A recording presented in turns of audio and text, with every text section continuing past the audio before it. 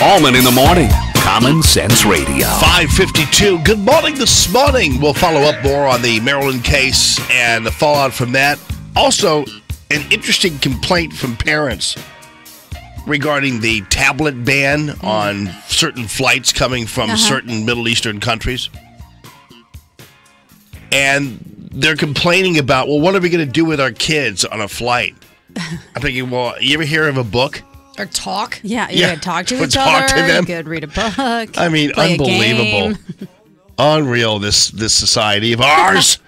Todd Starnes, people. reporter Todd Starnes. Does that make me crazy? Well, I've been busy waxing my dinghy. Does that make me crazy? Smoking pot from a bong. You can get free hookers, just don't decorate them with Christmas ornaments. Oh, usually, what happens is if Todd Starnes is there, it's some kind of catastrophe. So, Yeah, hey, I gotta go down. We gotta get some ribs or something. and if Todd Starnes is there, the event's gonna sell out because that's exactly what happened with our April sixth Allman in the Evening Speaker Series featuring Todd Starnes at the Foundry Arts Center on Main Street in St. Charles. The event was in is free, but people had to register, and they did. We sold it out essentially. Todd's going to be there with his book signing. We are also going to be selling the Resist We Much t shirts. And ultimately, towards the closer to the date, we might just give a few slots away. We, we might be able to squeeze some folks in. Todd Starnes, welcome to the show, my friend. Well, thanks, Jamie. Y- yeah, I tried to register for the event online today, and it was sold out. I don't know if I'm going to be able to get in. I know, buddy. It's going to be awesome. We're so glad you're going to be joining us, and and thank you so much. It's going to be a great evening. That's Thursday, April 6th. Stay tuned for the possibility of us uh, letting you, squeezing you in. That's for sure. And you know what we also need to do? I need to send you guys some books so that maybe you could give away a couple of books on the air too. Oh, sure, that would be great. That we'll be sign those. We'll sign those at the uh, at the event. The this is going to be a lot of fun. yes, indeed. We're, it's going to be great. We might have Deplorable. We might just have some ribs. the Deplorables Guide to Making America Great Again is the book, of course. Hey, Todd, I'm wondering. I haven't heard from the Anne Frank Center for Mutual Studies and their complaint about a school lesson comparing Trump to Hitler. I haven't heard from them about that yet, but I'm sure we will. You're not going to. yeah.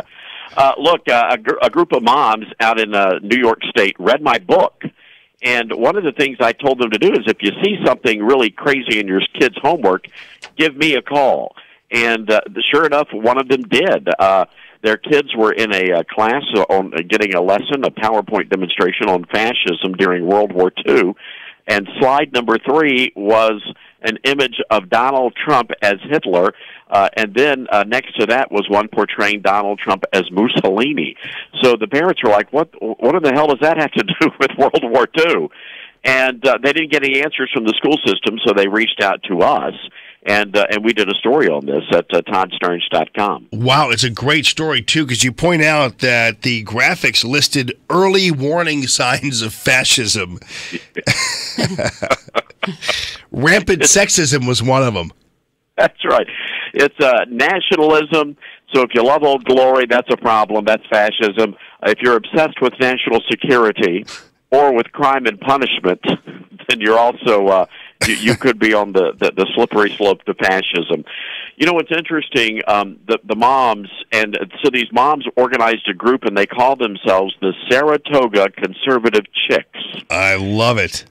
And uh, they are really fired up because now all of these moms are getting together and comparing their their own stories. And get this: so after our story ran, the local teachers union went on TV there in Albany, New York, and and went after the moms. And a teacher in the classroom said the real fascists are the moms who are complaining. Wow. What a crazy world. I'm telling you, buddy, this is this is the Todd Starnes see something, say something policy. Well, look, absolutely, Jamie, and look, uh, uh, this is happening in public school classrooms all across the country, and I'm so glad that you let us talk about these issues on the radio because they're important, and people need to understand that their country is being radically changed in the public school classroom. And and this lesson on Donald Trump suggesting he's Hitler is is a great example of that. Well, and you know, even as Saul Alinsky mapped it out, you change things and you poison people's minds in the small ways, such as within the school system, and you do it gradually. And this is a great example of that that poisoning. So it's it's amazing. So glad you pointed out, and we're so privileged to have you on the show with us as always. And we're going to be really happy to see you on the sixth of April, and we're going to work something out. Hopefully, where you're in studio here, but uh, we'll just just getting you to St. Charles and to the Foundry Arts Center is going to be amazing. It's the Allman in the Evening speaker series featuring Todd Starnes on the 6th of April. The event is sold out, but we will be giving away tickets, and now, thanks to Todd, a couple of books to you uh, as we get closer to the event. Todd Starnes, great to see you, buddy. Talk to you. ToddStarnes.com at Todd Starnes. Have a great rest of your week, brother. You too, Jamie.